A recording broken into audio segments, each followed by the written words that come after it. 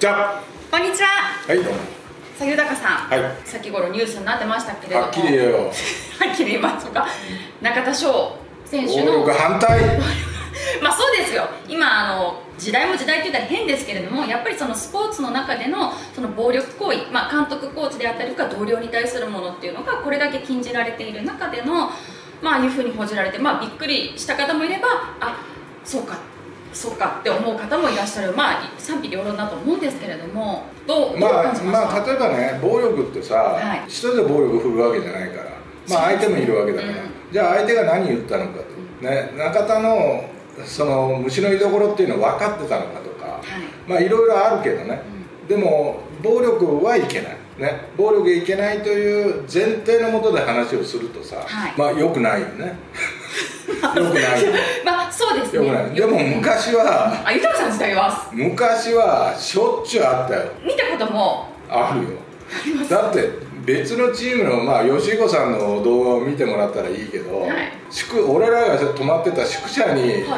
わざわざ来て「おい誰々おるか?」言って来たんだからだからそういう時代もあったんだよ。プラス例えば、えー、とベンチ裏とかでもありました。あったあっ先輩後輩関係なく。たいやあったよ。いやいや先輩にするっていうことはまああんまりなかったけど、はい。でもやっぱり虫の居所が悪かったりだとか、理不尽なことがあったりとかするとまあそういうことは起きてたよね。それってやっぱセ・リーグパ・リーグとかであと球団によってもまあいろいろさまざまだまあ太陽って優しいイメージが、いやいやまあ、まあそんなに問題は起きなかったけどでもなくはなかったよね。で中田のあのコロナのポスターが、はまあ日本ハムがこういろいろポスター貼ってんだよね。はい。コロナで差別はいけないとかさ、はい。い、ろんなところで、ん。で中田のはこうやってて、ん。勤務先から出社を拒否されるとか、まあ、そこの差別コロナで差別はいけないよという。まもうバッチリハマってるというさ、あまあ笑ってはいけないんですけど。それ笑っちゃうよね本当に。なんていうかまあそうですね、まあ、出社先拒否される。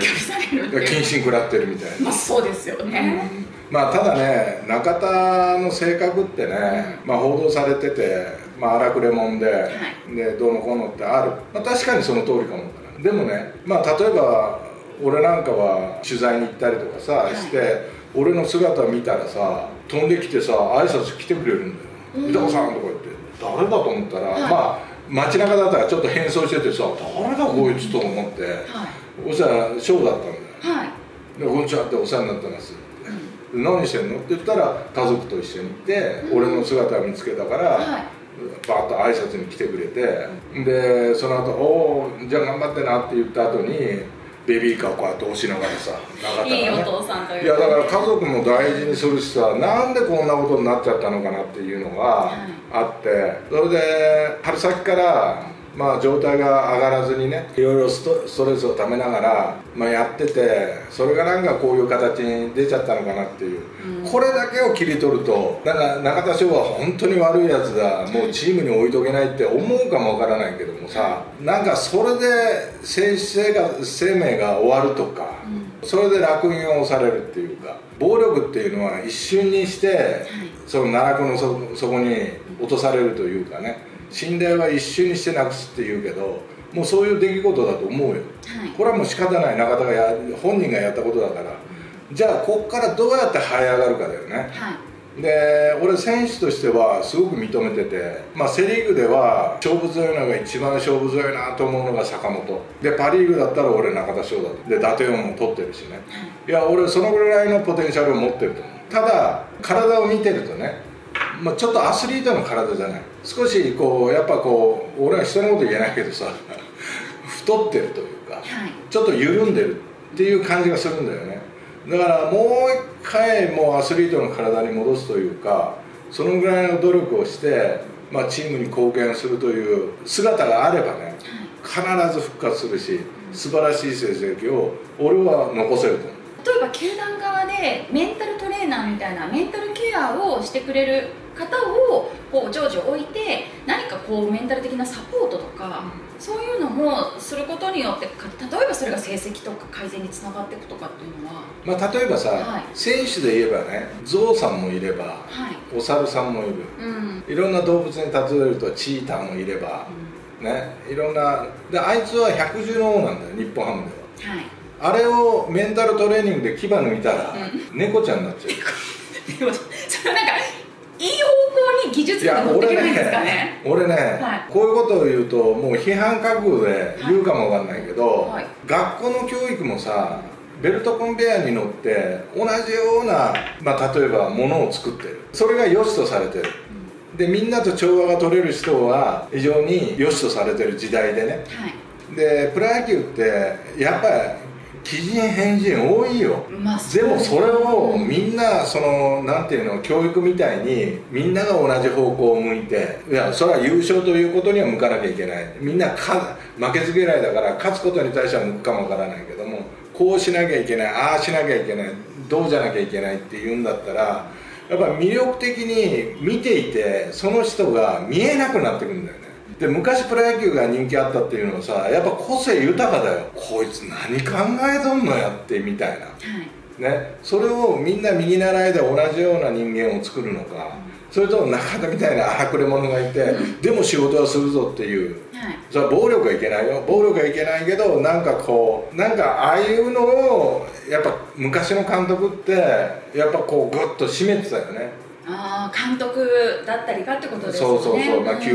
まあ、球団っていうよりもやっぱ現場の監督だろうね、うん。うん。ただ栗山監督もまあ努力はしてたんだろうけども、はい。まあ抑えきれなかったうん。ということは努力も足りなかったということだと思うんだよね、だから中田だけが悪いのか、まあ、暴力は決して許されない。それはもちろん悪い、悪いけどもそれに至るまでの過程でやっぱ中田の心を鎮めるとか、い。改正させるとか、うん。そういうことはできなかったのかとか、まあいろんな問題が浮き彫りになってくると思うけどね。はい、うん。そうですよね。あと今後なんですけども今まあ謹慎というか出場停止になってますけれどもこの今シーズン後半戦は中田翔選手は、まあ、日本ハムのまあ順位もありますけれどもどうなるんですかね。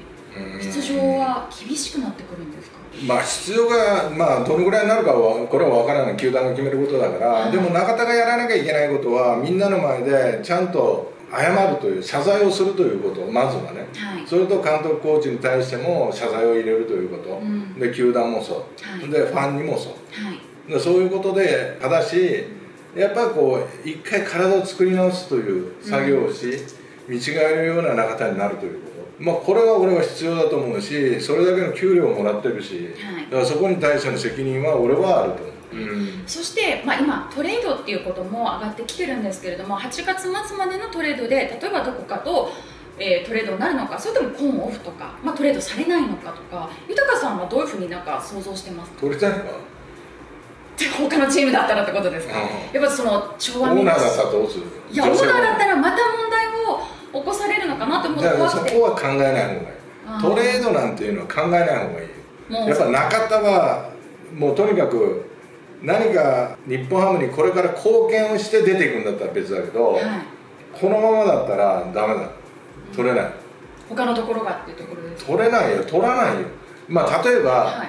中田を抑えられるんだったら12球団の中で巨人しかないだろうね。原監督しか、ああ、うん、中田を説得し、はい。中田をより導いていけるのは、俺は昔ながらの監督である原監督が一番適任だと思うけどそこは巨人はやらない。といやできないよ、ううん。ん、それは中田のためにプロ野球があるわけじゃない、はい。プロ野球があるから中田が存在してるわけだから、うん。そこはやっぱりダメ。だから個人的に俺は中田は嫌いではない。好きだし、はい。でああいう荒くれ者というのは好き、だただ暴力は許されない。だからこれはちゃんとして謝罪をしやっぱそのチームメイトファンに対してもそうだよね。はい。謝罪をしやっぱもう一度本来の中田の姿を取り戻せと。言うしかない。